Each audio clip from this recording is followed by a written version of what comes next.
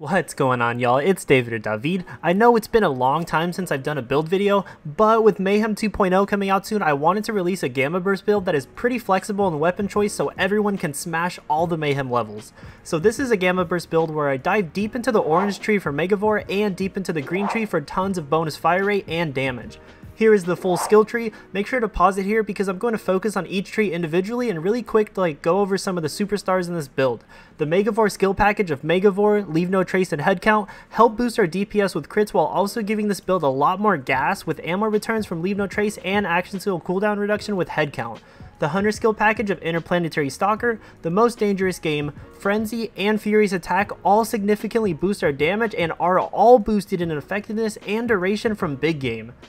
Two Fang is also really important here because it's an indirect DPS boost because of the damage we get from the extra projectiles, but also with certain guns, this skill really flourishes and makes a giant impact. For my action skill, I stated earlier, but this is definitely a Gamma Burst build, and unlike most of the other Gamma Burst builds out there, I only went far enough into the blue tree for the first two augments so I could get damage from the other trees. The first augment, Atomic Aroma, seems pretty underwhelming at first. While the radiation damage from your pet is very low, the important part is not the damage it does, but the radiation effect that it applies to enemies which causes them to explode on death.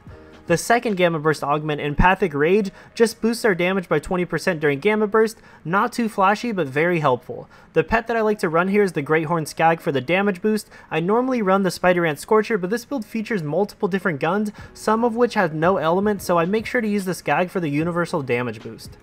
Moving on to my favorite part of the build, the gear. My first weapon is the redistributor with the consecutive hit anointments on it. This gun benefits a ton from fire rate because every 7th shot chains the nearby enemies, so when you shoot faster with things like overclocked combined with two fang, you're chaining the enemies rapidly and dealing major DPS.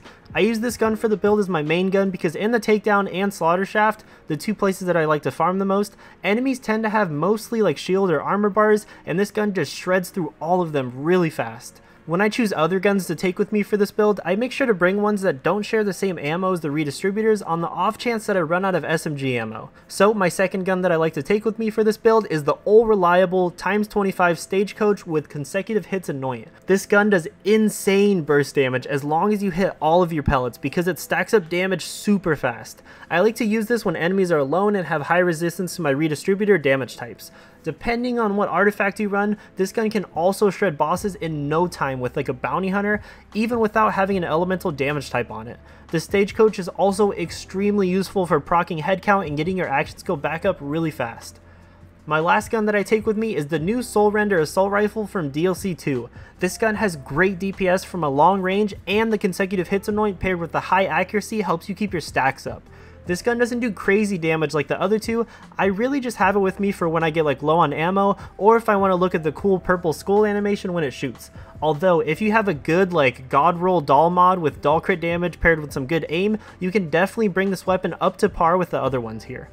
My shield mod is a shield that I've been experimenting with for some time now. It's the new Adrenaline Initiative shield from Vincent in DLC 2. This shield gives you a reload speed bonus when your shield is depleted, and since it has no shield, in exchange for weapon damage, damage reduction, and bonus maximum health, you will always have the bonus reload speed.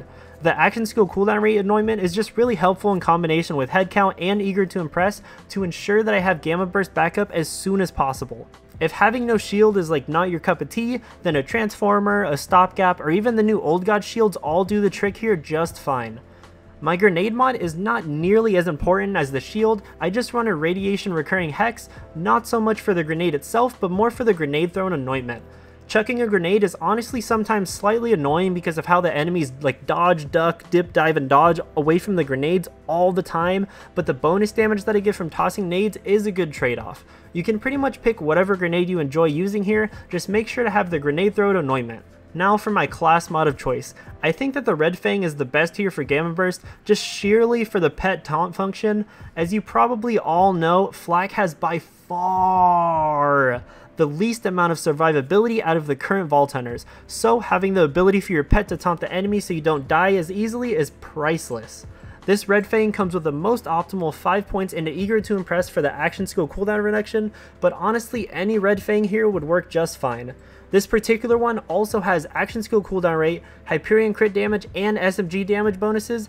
This is mainly for the redistributor, but the Soul Render and Stagecoach still do plenty of damage. Just make sure to use a Red Fang with crit damage for whatever weapon you're using the most here. And lastly, for my artifact, I chose to run a Pearl of Ineffable Knowledge because having the ability to stack damage with this artifact and my anointments really make all the difference. I chose to use a fire rate and reload speed one because the redistributor is my main weapon here, but anything with like mag size can also work as well. Now that all of the gear is covered, I do want to briefly cover the general mobbing and bossing strategies. For mobbing, activating Gamma Burst and tossing a nade to proc your damage boost should be the first thing that you do. From there, it's pretty much all about letting your pet tank the enemies and you shooting them.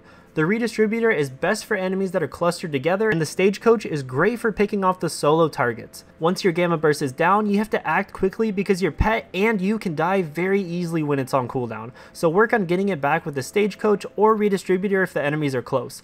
Don't worry if your pet does die because it can be brought back up with Gamma Burst, and don't worry if you go down because you still have plenty of damage with this build. But the cooldown will be a bit longer if you do choose to revive your pet through Gamma Burst. Just try to stay out of the enemy's fire until Gamma Burst is back up and then you'll be all set. For bossing, I like to Gamma Burst directly at the boss for the extra damage and then toss nades and burn it down while moving. The strategy is pretty similar to mobbing, but you'll have to be mindful of the boss's attacks much more than when mobbing, because the bigger bosses don't care too much about the Red Fang ability. Hitting all your shots on the bosses are super important because you want your consecutive hits to stack up and build as quickly as possible. Other than that, just make sure to keep Gamma Bursting in the shortest intervals possible so your pet can distract the ads while you clean up the boss. That is going to be it for my Ascended Flak build for Mayhem Mode 2.0. If you liked the video, please make sure to Rakk Attack that thumbs up button and drop me a comment if you have anything to add because I reply to all of my comments. Come swing by the Discord for the save file, or if you want to chat and do any trading with myself or my community, and don't forget to gamma burst that subscribe button and notification bell to stay up to date on all of my content. Thank you so much for watching till the end, and I will check you all in the next video. See ya!